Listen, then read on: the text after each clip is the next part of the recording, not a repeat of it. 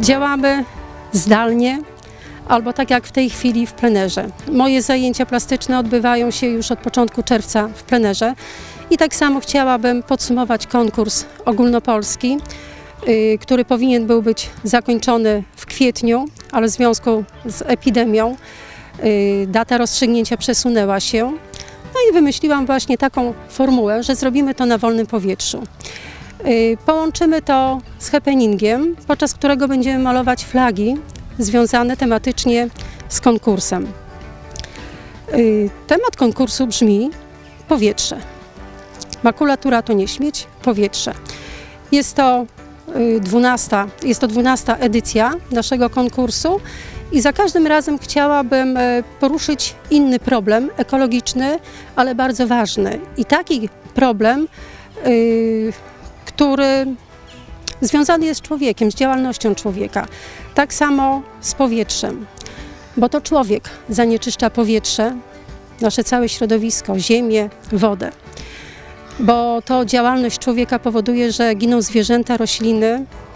Ten konkurs jest po to, żeby to uwypuklić, żeby pokazać, że coś z tym należy zrobić.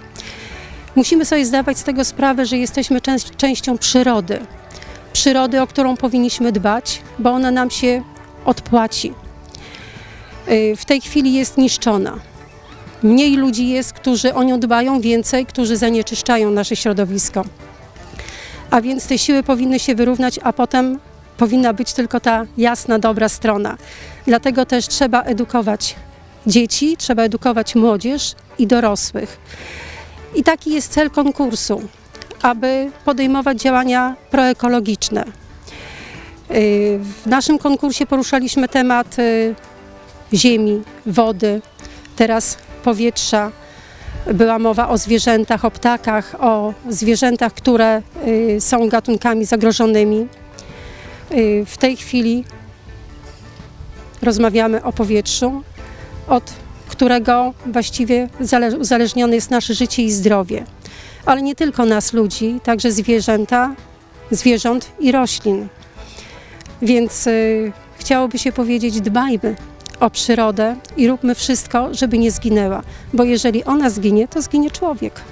Na konkurs wpłynęło około 300 prac. Y, W tym roku, w tym roku y, technika okazała się dość y, trudną, a do, temat, y, do zrobienia zadaniem y, konkursu y, było zrobienie flagi, sztandaru bądź proporcja.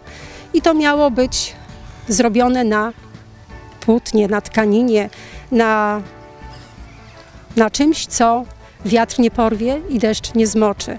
Dzisiaj właśnie mamy taką próbę, mierzymy się z wiatrem, pewnie niedługo spadnie deszcz, ale flagi nasze tutaj zostaną jeszcze na kilka dni. Yy, I chciałabym, żeby mówiły właśnie o tym, że należy dbać o środowisko, należy dbać o przyrodę i w końcu nabrać szacunku w stosunku do natury. Przyznaliśmy nagrody w kategorii e, klas 1-3, oczywiście szkół podstawowych, 4-6, 7-8 klasy szkoły podstawowej i liceum.